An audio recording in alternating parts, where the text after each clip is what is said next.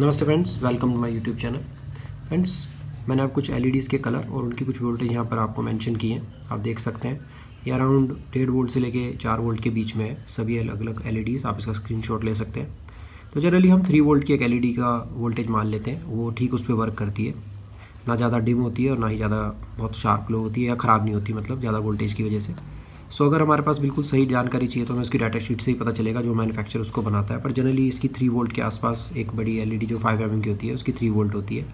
और जो करंट ये यूटिलाइज़ करती है, वो है ट्वेंटी मिली एम्पियर इसका हम क्या यूज़ कर सकते हैं? सपोज़ करिए आप इसे थ्री वोल्ट या फोर वोल्ट तक देते हैं, आप इसे ऑपरेट कर लेते हैं। बट अगर आपको इसे ट्वेल्व वोल्ट से ऑपरेट करना है या और इससे ज़्यादा वोल्टेज से ऑपरेट करना है तो आप इसमें कितने ओम का रेजिस्टेंस लगाएँगे, जिससे कि उसमें सेफली ये वर्क करे और एक ख़राब भी ना हो। जैसे जल जाती है, कई बार ज़्यादा वोल्टेज देने से एलईडी तो हम उस कैलकुलेशन को चेक करेंगे कि किस तरह से हम इसमें रेजिस्टेंस कैलकुलेट करें और फिर उसको मैं आपको एलईडी को ग्लो करके भी दिखाऊँगा। हम इसमें वाटेज भी चेक कर सकते हैं क्योंकि जैसे क्वार्टर वाट के भी रेजिस्टेंस आते हैं हाफ़ वाट या वन वाट या टू वाट तो कौन सा हमें रेजिस्टेंस इसमें लगाना है? तो वो रेजिस्टेंस भी हम आ, उसकी जो वाटेज है वो भी हम कैलकुलेट कर सकते हैं। सो आप देखिए ये कुछ वोल्टेज है। मैंने यहाँ पर एक ग्रीन एलईडी ली है तो सपोज़ करिए 1.9 टू फोर वोल्ट तो इसको हम थ्री वोल्ट ले लेते हैं और 20 मिलियम पर हम करंट लेंगे। सो हम इस फॉर्मूले को यूज़ करेंगे अब। सो आप जानते हैं ओम्स लॉ के बारे में। इस तरीके से ओम्स लॉ होता है। सो रेजिस्टेंस की वैल्यू अगर हम निकालते हैं तो वी अपॉन आई होती है। सो इस वोल्टेज में हम डिफरेंस ऑफ़ वोल्टेज लेंगे। सपोज़ करिए आप 12 वोल्ट आप यूटिलाइज़ कर रहे हैं, जो इनपुट देना चाहते हैं। और वोल्टेज आपकी जो एलईडी की है, वो थ्री वोल्ट है। और ट्वेंटी मिली एम्पियर वो करंट यूटिलाइज़ करती है। तो इस फॉर्मूले को यूज़ करके आप उस रेजिस्टेंस की वैल्यू को फाइंड आउट कर सकते हैं। जो हम इसमें लगाएँगे तो ये सेफली वर्क करेगी।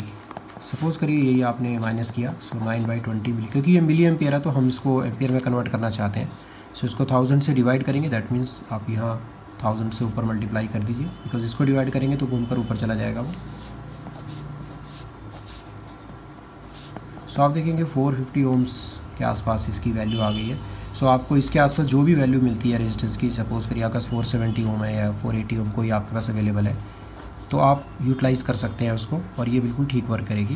सो देखिए, ये मेरे पास एक ट्वेल्व वोल्ट की बैटरी है और मैंने इसकी आउटपुट यहाँ ले रखी है। ये इसका पॉजिटिव वायर है और ये नेगेटिव वायर है और ये सपोज़ करिए एक एलईडी है और मेरे पास एक 470 ओम का रेजिस्टेंस भी है।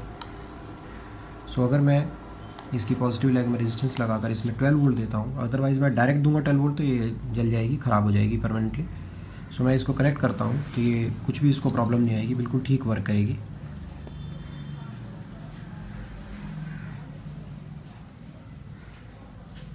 देखिए, ये 12 वोल्ट से ऑपरेट हो रही है और ये बिल्कुल सही वर्क कर रही है।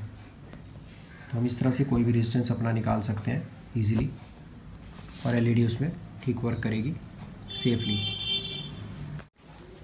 तो देखिए, मैं ये बैटरी की वोल्टेज आपको चेक करा देता हूँ। हमने पहले एक वीडियो में दिखाया था कि किस तरह से हम बैटरी पैक बना सकते हैं। तो ये देखिए 11.36 यानी अराउंड 12 वोल्ट इसमें जनरेट हो रहे हैं।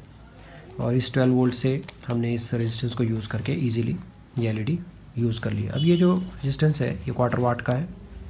सो अगर आप वाट की भी कैलकुलेशन करना चाहते हैं तो आप पावर का फॉर्मूला यूज़ कर लीजिए। Power is equal to V into I होता है।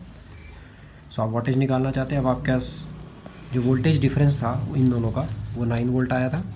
और करंट आपके पास 20 मिली एम्पियर था। मिली एम्पियर को आप एम्पियर में कन्वर्ट करेंगे तो थाउज़ेंड से डिवाइड करेंगे।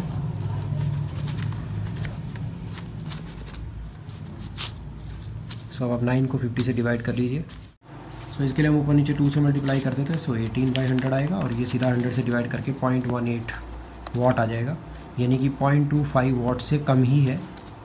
क्वार्टर वाट से कम है। तो क्वार्टर वाट आप यूज़ कर रहे हैं तो बिल्कुल सेफ़ है। इसी तरह से आप और भी रेजिस्टेंस को कैलकुलेट कर सकते हैं। तो पहला फॉर्मूला आप रेजिस्टेंस कैलकुलेट करने के लिए ये वाला यूज़ कर सकते हैं और पावर को पता लगाने के लिए आप ये वाला फॉर्मूला यूज़ कर सकते हैं।